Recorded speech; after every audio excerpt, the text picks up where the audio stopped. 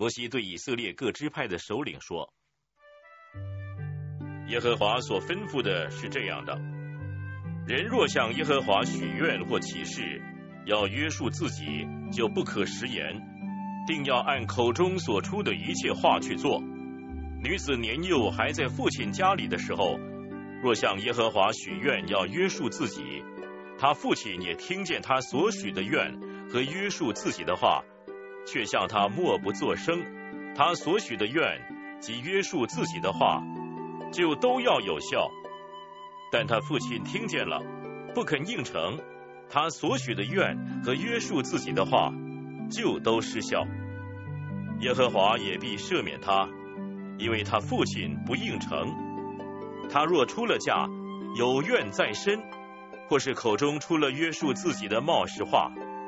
她丈夫听见了，却向她默不作声。她所许的愿和约束自己的话，就都要有效。但她丈夫听见了，不肯应承，就算废了她所许的愿和她出口约束自己的冒失话，耶和华也必赦免她。寡妇或是被休的妇人所许的愿，就是她约束自己的话，都要有效。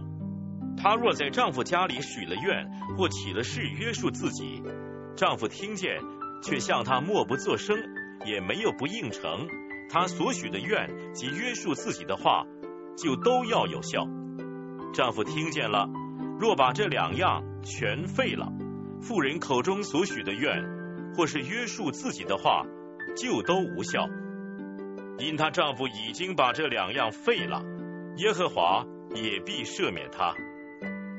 凡她所许的愿和刻苦约束自己所起的事，她丈夫可以坚定，也可以废去。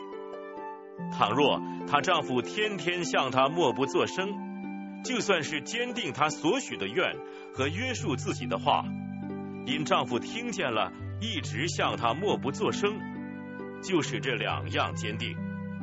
但她丈夫听见，往后却使这两样全废了。